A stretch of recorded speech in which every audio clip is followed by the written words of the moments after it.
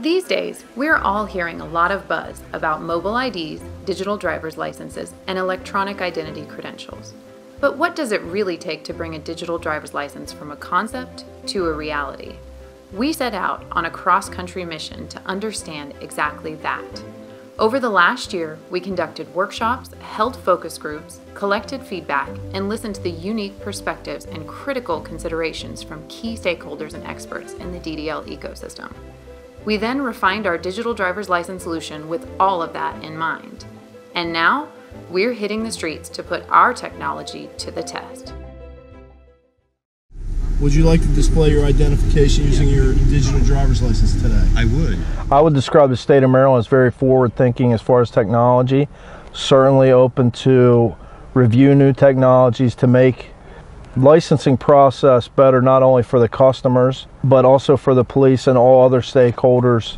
All right, just wait here in the vehicle. I'll be right back with you. And with a digital driver's license, if the resident lose their physical driver's license, their information is just out there. But if they lose their phone, it's not an issue because it's password protected and then they can contact us. We can remotely just wipe out their driver's license. When they get their new phone, we can then remotely download that driver's license and they're good to go.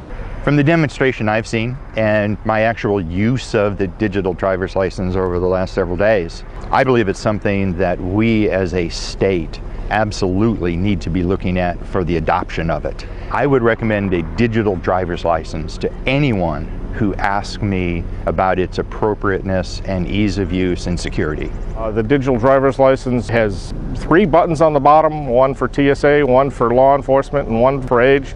It just doesn't get any simpler than that. Well, I'm looking forward to having a more streamlined, efficient process for verifying identity, taking away the human error. No, I think they'll definitely take to it because you'll have the assurance of knowing that if the machine says it's good, it's the same database that, that the uh, state uses. So I think it's going to just give you a peace of mind.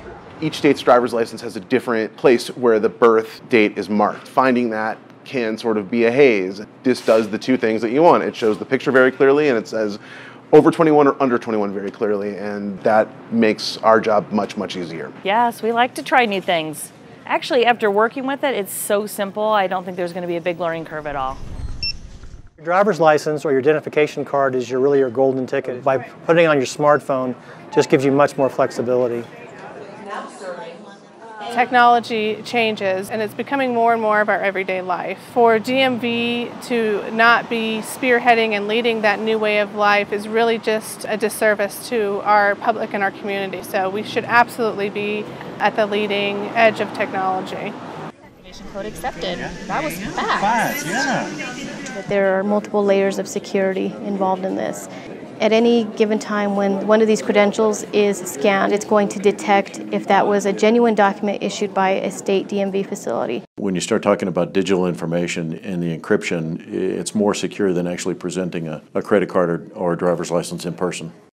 Physical cards can always be forged at some point in time. I mean, all you really need is the same printer that they use to print the ID. That stuff's not as proprietary as it could be. The potential is just amazing and it's endless as far as reaching out to our customers and being able to communicate with them. It's one application across the board.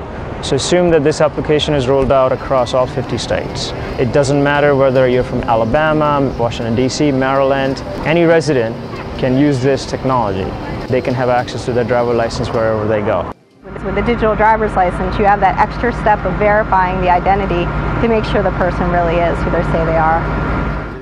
We love technology at the lottery. We're always thinking about the future and finding ways to make things fun. And speaking to the millennials who want to use their phones for everything, we're trying to look into the future as, as best that we can for our own products and fun games that can be played digitally as well. From the tests that we're doing right now, I think that customers find it pretty convenient and easy to use. Everything's going on your phone mobily, and people are used to that in this day and age, and I think it'll be easy for them to adapt. I think it's a fabulous idea. I think it absolutely people would adapt to it because it's it's safer. Anything that makes your life easier and safer, it's got to be good. We thank all of the jurisdictions and our partners who have helped us to pioneer this project. We invite you to continue this journey with us as we shape the future of digital identity.